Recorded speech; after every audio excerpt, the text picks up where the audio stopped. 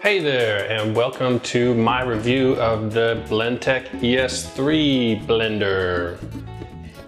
I got good news and bad news. There's a bunch of things I like and a couple things I don't like. I'll go ahead and start with the things that I don't like. First of all, the price. It's a little prohibitive. The cheapest Blendtec you're probably gonna find is like 400 bucks. The other thing I didn't like about this blender at first was that it seems intimidating.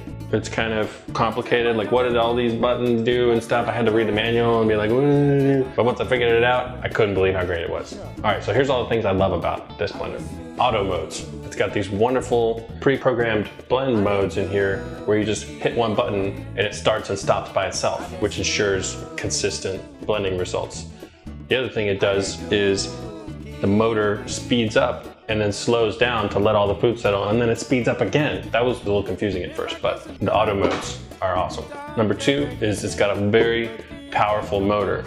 You know, you put anything you want in there and it'll blend it. The third thing I like about this blender is that it's super easy to clean. There's no disassembling of blades and washers and rubber parts and stuff. It's just jar, lid. The fourth thing I like about this blender is the patented wingtip two-prong stainless steel blade design. One thing that's really weird about it is it's not even sharp to the touch. Like you could touch it all day long and you won't cut yourself, which makes it easy to clean, of course. Some miracle of engineering, the way they built this thing, the way that the blades are angled makes it just crush and power through anything that you would want to blend in here really effectively. The fifth thing I love about this blender is the jar. It's square.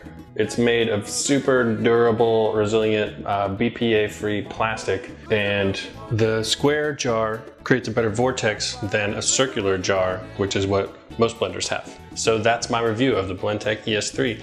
If you agree or disagree, feel free to weigh in in the comments below and thanks for watching.